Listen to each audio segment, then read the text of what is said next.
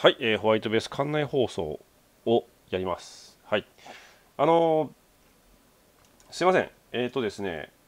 ホワイトベース、今、すみません、ホームページご覧の方はご存知かと思うんですけども、えっ、ー、と、今、遅ればせなゴールデンウィーク撮ってます。はい。で、えっとですね、まあ、つってもこうやって店出てきちゃったりするんですけども、えーと、78と11ですね、えー、臨時休業という形でお休みをいただいておりますので、その間にあのお店にいらっしゃってもですね、あのまともな対応があできませんので、まともな対応できたいないです。ほとんどいないけどあの休みの日には休みの休みにしかできない仕事をしたい人がですね時々来てますけども時々来てる程度の話なのではい、あのシャッターは閉まっております。はい、なので、えー、ご了承いただければなと考えておりますけれども、ね、や休まなきゃなって思うんだけど、まあいいや、えっ、と、とりあえずタイトルにある話なんですけども、本当かな？というようなものです。えー、度胸試し、ね、小学生の間で車に飛び出す危険なゲームが流行中ということでですね、これあのー、まあ、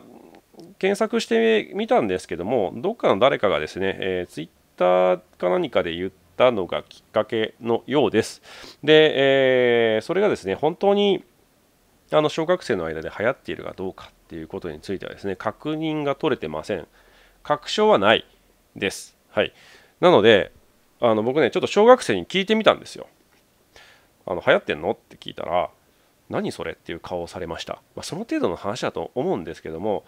ただその地域的にはですね、えー、まああのねない話だとは信じたいんですけども生活に困った親がですね、えー、子供を道路に突き突き飛ばすっていうようなですね、えー、そういうこともあのなきにしもあらずのようでございますので、えー、皆さん注意をしていただきたいんですね。であとあのこのですね、え車の前に飛び出す度胸試しの遊びを自分の子供がしているか知ってってるかどうかっていうことについてはあのちょっと聞いてみた方がいいですね。はい、で聞いてみてもしそれがあの聞いたことあるよというようなあ反応が返ってきたらですね、えー、それがいかに危険なことかっていうのですね親御さんからあお話をするのがいいと思います。よくですね僕嫌だなと思うのがこういう遊びが危険な遊びが流行ってるとかですね昔の気絶ごっこもそうですけどもそういうのをあのメディアや漫画とかねアニメだとかあそういうもののせいにしちゃう親たちっていうのが一番僕は嫌です。はい。なんでかっていうと人のせいにしてるだけじゃないですかねそれは。ね例えばね、昔僕はあの北斗の拳とかドラゴンボールとかよく読んでましたけどもあの、ね、飛行をついて人を殺せるなんて思ってなかったしあれ漫画の中の世界だし筋肉バスターね。筋肉バスター実際にやって大怪我したとかねそういう話たくさん聞きましたけどもすべからく全員ただのバカだなって思ってましたよ。幼稚園の頃から。筋肉バスターってあ漫画アニメだろやるわけねえだろ、ね、できたらかっこいいよ。できたらかっこいいけどあれは超人のみができる技であって、ね、普通の、ね、人間ができるわけないだろうってちゃんと区別がついてたしでむしろ親が漫画ねとかの中でやってることをあのね、実際にできると思ってやっちゃいけませんよなんて言われたことないですけど言われなくても分かってた。でそれが分かんないぐらいのバカな子供バカな子供って言っちゃいますよ。バカいますからね本当に。あの要はクソガキクラスターですよ。いますよそういう人。いるけどクソガキっていうのはね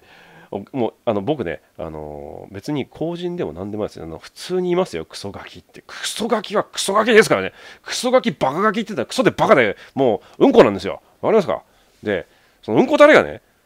どこまでバカかっていうと、ま、漫画の中でやってることを試してみようみたいなのとかねあの自分でやるのが怖かったらあいつにやらせようとかね。あのそういうやつっているんですでそういうやつ何が悪いかって親が悪いんだよ。親が。ね。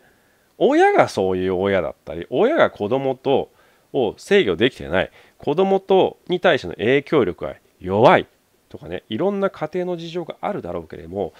あのねびっくりしたことにあの社会的に非常に評価されるような職についている親の子供であればあるほどさっき言ったような漫画の中でやってたことを本当にやっちゃうとかねあのー、ね刃物とか使っちゃうとか、ね、車の前に飛び出し飛び出させるとかねそういうことを平気でやっちゃう子供っていうのが多いんですよ。びっくりするでしょ。びっくりするでしょ。知るでしょって言ってするでしょ。これ本当なんですよ。これ。普通の家庭で普通にこうやあの会話があるお家だったらまずそういうことないんです。はい。じゃなんであのね、これね偏見かもしれないけども僕があの育ったところは渋谷区なんですよ。で渋谷区ってねとんでもない金持ちいっぱいいるんですよ。とんでもない金持ちの親っていうのは僕でも知ってるような役職に就いてたりするんですよ。某有名な大型投資銀行のあのホームページに乗っかっちゃってるようなねこうすごく偉い人の子供とかねそういうやつが学校中学校に来て何やってるかっていうとバタフライナイフ振り回してねそこら辺切りつけてるんですよ。でそういうことをやっちゃいけないってことはわからない。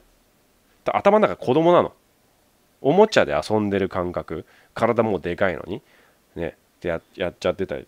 ね。そういうそうそういうのやってるかと思えばね。代々木公園に行ってレイプしたりとかするわけですよ。もうとんでもない信じられないよ。中学校でレイプ事件が普通に起きるからね。ね。でそういう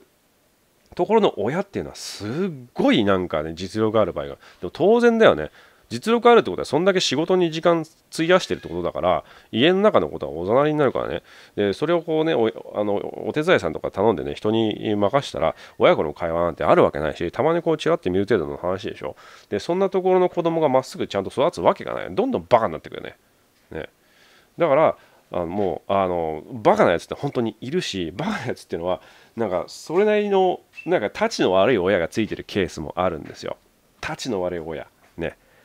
事故ったらあんたが悪い。うちの息子は素晴らしい。俺が素晴らしいだから当然素晴らしいだろう。だからそんな車の前に飛び出すようなことをしてたとしてもあの、まあ、するわけがないしまずね。してたとしてもあんたがそれをね言い訳にしてるだけだろう。っていうふうに言うし圧力もかけてくるだろうね。ね。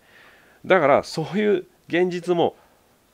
が一部の現実がもしかしたらクローズアップされてるだけかもしれないけれども皆さんにできることはそういうバカな子供とは、ね、自分の子供が付き合わないようにする。付きまとわれているんだったら転校させちゃうぐらいでいいと思うよ。まあそのぐらいのことです。はい。まああのちらっとこのニュースを見てここまでのことをいろいろ考えたんですけども本当にアニメゲームのせいにするっていうのはないと思うしインターネットの悪影響テレビの悪影響っていうのも言い訳だと思うしやっぱりそれは親が子供に言うだけでこの現実こういうもし流行ってるとしたらそれは簡単に止めることができますのではい、あの子供お子さんがいるご家庭の方、うん、もしくはですね、えー、親戚にいるとかでもいいんですけどもあの、ね、度胸試しで車にはねられたらあどうなるか、うん、っていうのをきちんとこう話す。だ車道路車自転車っていうのが一体どれだけ危険なものかっていうのをですね、えーまあ、ここで一つですね時間をとって話し合う